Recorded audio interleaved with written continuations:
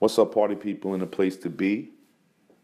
Welcome to another Sling Slang Reviews. Today, we will be reviewing Black Panther. Panther.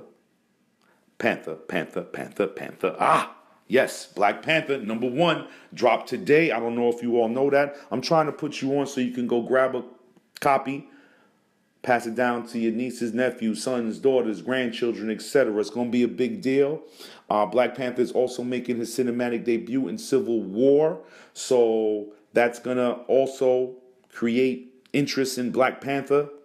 And in addition, the big reason I wanted to cop this comic is the author. The author is Ta-Nehisi Coates, who authored the New York Times bestseller between the World and Me. He's actually the comic book writer for Black Panther.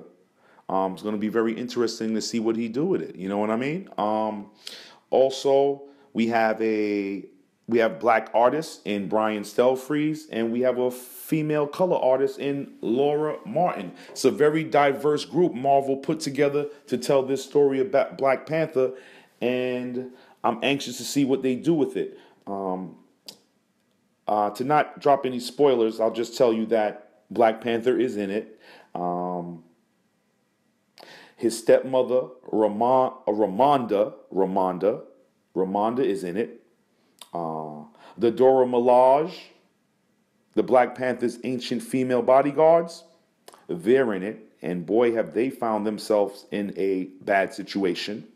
Um, you also have, I guess, the villains, uh, Zenny and Tetu, who want to bring about a new Wakanda. And when she arrives on the scene, y'all, it's like she brings a green vibe or mist with her. Everybody eyes turn green like they possess, kind of bugged out, kind of crazy. Plus she wears all green. It's it's it's um it's crazy. Great artwork and great color by the team of Brian Stelfreeze and Laura Martin.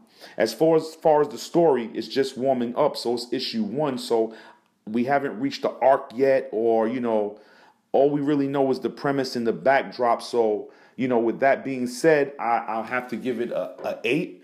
Um, it's not a 10 for 10 yet because I just don't know where the story is is basically headed. And I'm I'm a little nervous to drink the Kool-Aid because you know he's he's he's not a comic book author.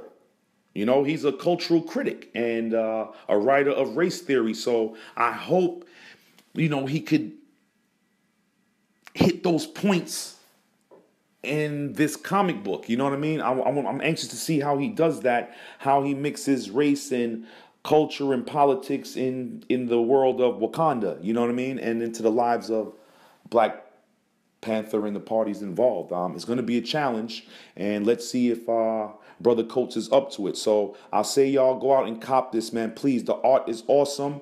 Uh, it returns some old characters from back in the day. Uh, the Dora Milaje was one of my my favorite um, uh, females. Um, they're back. Uh, like I said, stepmother Ramona, not Ramona, Ramonda. Stepmother Ramonda is there. Um, and the Black Panther has returned to see his kingdom in disarray. Let's uh, see how he fixes it. If it collapses, what he do with it, and uh, go out and cop yourself an issue, man. All right, peace and love.